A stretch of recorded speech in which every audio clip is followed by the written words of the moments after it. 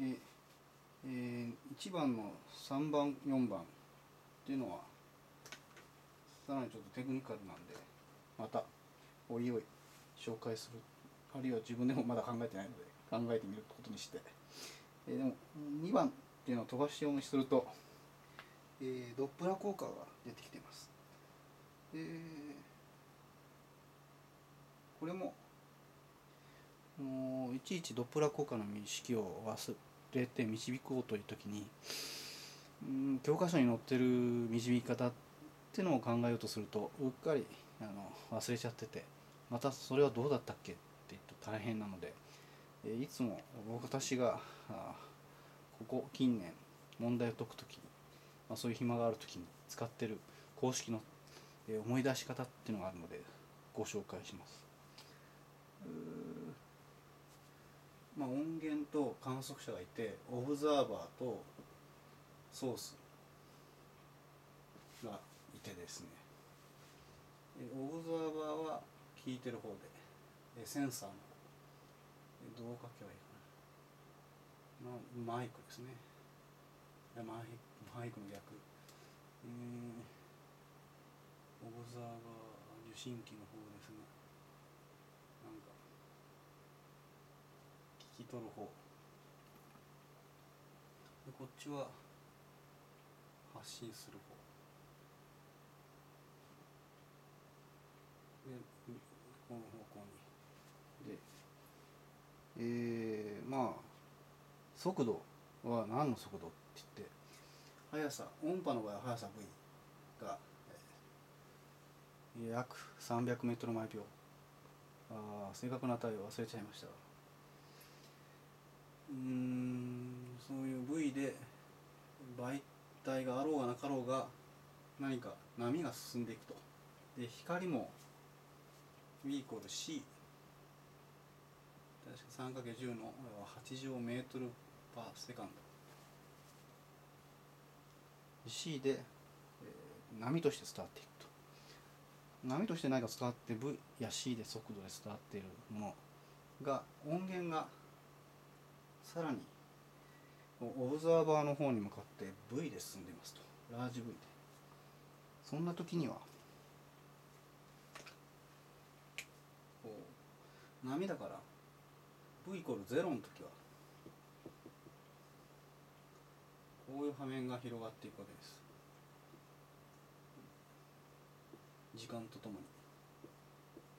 に。でここで観測されると。でこの間隔は波の山と山谷と谷の間のラムダだと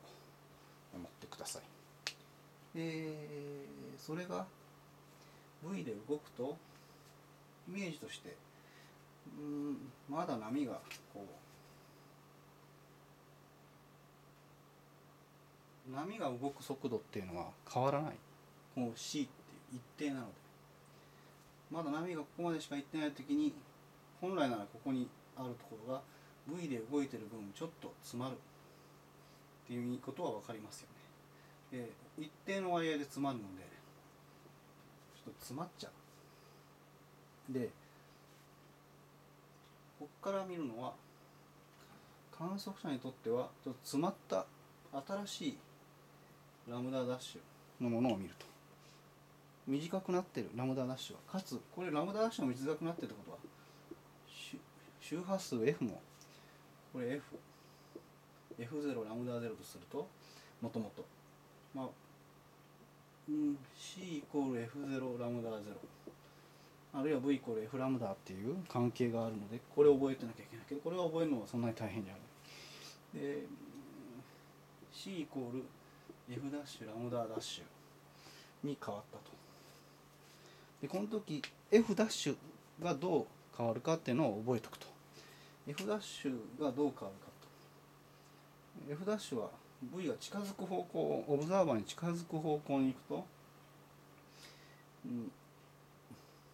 F0 に何か割合かけて F ダッシュになります。でこの割合うん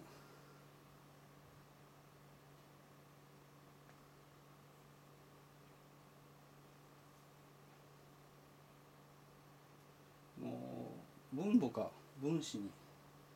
この c っていう速度にプラスマイナスすることのなんとかというのだけはイメージとして覚えておいて。こういう反比例と比例の関係が影響する。で V をどんどん上げていくとあのどこまで上げてもこの C は超えられないんであるいは音源の速度波の音波の波面の速度は超えられないので超えるとあの超別の現象が起こっちゃうので それまでだんだんだんだんこう F の減り方っていうのは非線形ここで見るように反比例の関係でいくしかないと。で、えー、この上側に来ると F' F0 に速度なんか足す引き算引き算足し算した効果が割合でこう比例して増えていく形になっちゃいますけど。比例するのは、